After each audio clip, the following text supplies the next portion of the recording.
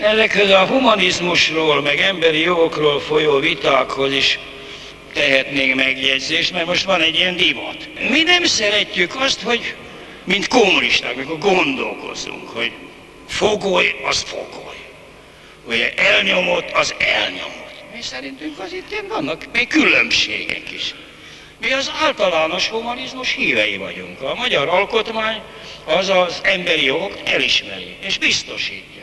Az elnyomás meg a hasonlót illetően a kommunista pártok, a forradalmi munkásosztály, az sohasem volt híve a harc élezésének, az mindig híve volt a szocializmusnak és a szocialista fejlődésnek. Így mi se vagyunk hívei a harc élezésének. Sőt, azt is hozzáteszem, hogy az adminisztratív rendszabálynak se vagyunk hívei. Annak se vagyunk hívei. Ha a helyzet vagy az élet nem kényszerít minket rá. Azért most emlegetett 20 esztendővel ezelőtt bizony nem szégyeltük elővenni a proletár diktatúra keményebb oldalát is, mert a nép élete jövője, a nemzet szocialista jövője az minden másnál előbbre való.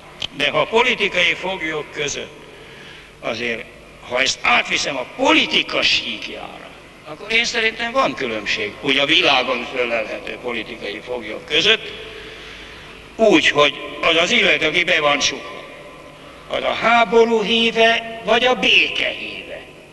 A háború ellensége, vagy a béke ellensége. Hogy az fasiszta, vagy antifasiszta. Az nem mindegy.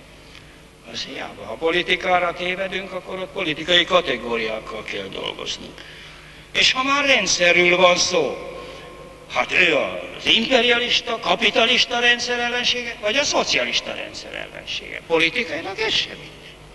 Úgyhogy mi kommunisták teszünk ilyen különbséget. Törvényeket betartjuk, ott a humanizmus érvényesül, stb., de a rendszerünket nem hagyjuk.